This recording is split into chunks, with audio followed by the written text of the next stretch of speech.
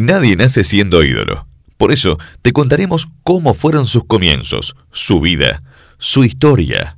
Muy pronto, en Canal 4 Paysandú, Ídolos con Historia. Una producción de GS Producciones. Globos, provincia de Buenos Aires, Argentina.